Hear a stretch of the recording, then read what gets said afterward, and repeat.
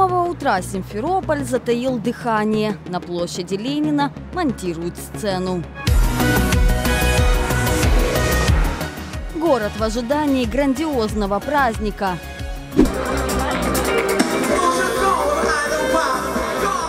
Крымчане отмечают день рождения колбасы. Скворцова – известный в Крыму колбасный бренд. 15-летию фирменный автобус проехал весь Крым. Устраивали викторины и собирали поздравления. Эта колбаска очень-очень вкусная. Еще больше видов колбас, сосисок, сарделек. С днем рождения! Дети – любимая рекламная тема бренда. В честь дня рождения производителя школьники готовили видеоролики о том, как они любят колбасу.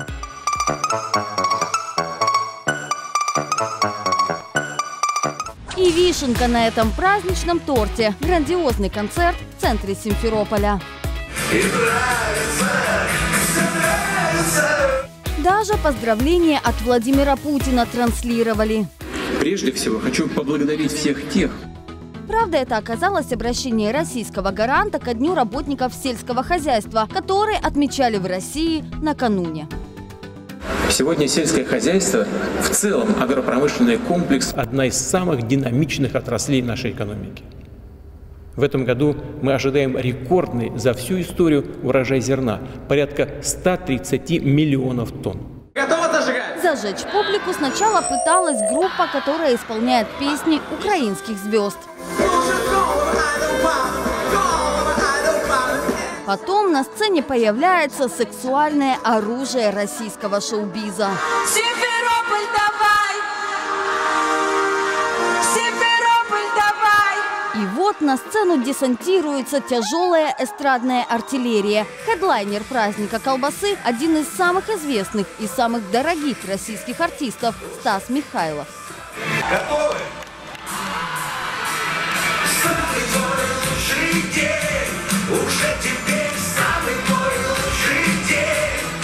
Секс-символу удается сорвать овации. Он активно общается со зрителями. Не стесняемся петь, видимся крайне редко, так что давайте.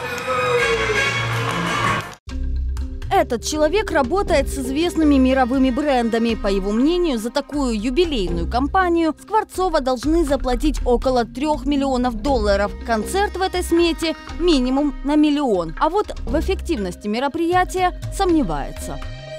Обычно такие концерты, они больше соответствуют, наверное, какому-то эго владельцев, кто, для кого персональная вот дата 15 лет э, компании имеет намного большее значение, чем для потребителя.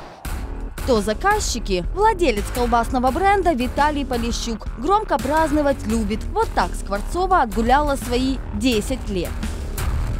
Я иду по улице, словно чумачечи Весны я потерял дар речи Крымчанин Виталий Полищук часто был, если не во власти, то около нее, говорит крымский аналитик. В начале 2000-х был депутатом поселкового совета, затем был избран Симферопольский райсовет. Полищук ходил во все возможные общественные советы, он занимался реализацией стратегии социально-экономического развития со стороны бизнеса, я имею в виду стратегией украинского, развития украинского полуострова. А, В принципе, он был да, довольно-таки активным э, бизнесменом, который был вовлечен во все инициативы, связанные с работой э, государственных органов и бизнеса. После аннексии успел поработать в подконтрольной Кремлю власти полуострова. Был министром сельского хозяйства. Вот вместе с Сергеем Аксеновым сажают виноград в форме карты России. Это очень хороший сигнал всему бизнесу о том, что сегодня можно приходить в Крым, инвестировать. На посту министра сельского хозяйства в подконтрольном Кремлю правительстве не брезговал и нечестной конкуренцией, говорит крымский политик. Мол, управляя сферой, в которой имеет свой интерес, повлиял на неблагополучие конкурентов. Когда он был э, министром, как раз началась эпопея закрытия э, мясокомбината в Симферополе и уничтожения молокозавода и его уничтожения. Поэтому это при нем все начиналось. Потом уже завершали другие. Виталий Полищук – владелец целого холдинга. В него входят шесть сельскохозяйственных предприятий. Свиноферма, зерновые поля, фруктовые сады, автокомпания и собственная сеть магазинов. Колбасной фирмой руководит сын Игорь Полищук. В 2014-м лично готовил референдум в своем округе. Ныне депутат от «Единой России». Работает в Крымском парламенте. Крымскую весну как секретарь постсовета работал над подготовкой и проведением общекрымского референдума. Был ответственным за формирование дружин в поселке Гвардейское. Сколько же влиятельные в Крыму полищуки заплатили за такой праздник для народа?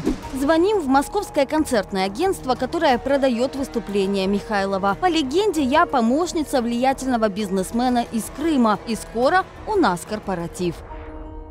Скажите, сколько бы это могло стоить? На корпоратив это будет 140 тысяч евро, гонорар. Отдельно оплачивается бытовой и технический райдер. А вы же знаете, там плюс-минус сколько получается бытовой технический? А, ну, примерно, примерно на это, наверное, еще уйдет от 10 до 15 тысяч евро, все зависит от площадки. Угу.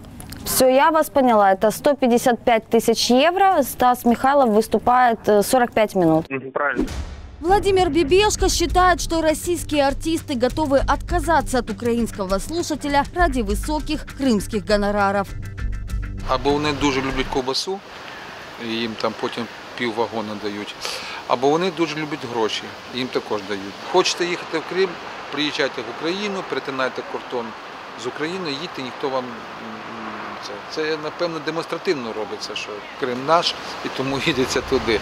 Стас Михайлов заявил, что не поедет петь в Украину еще в 2014 году. По данным российского Forbes, за 9 месяцев он уже успел заработать более 3 миллионов долларов. Лариса Долина, Наутилус Помпелиус, Александр Серов и Евгений Гришковец следующими поедут заработать свои деньги в аннексированном Крыму. Анастасия Бабкова, Александр Хоменко и Назар Сытник для Крым Реалии.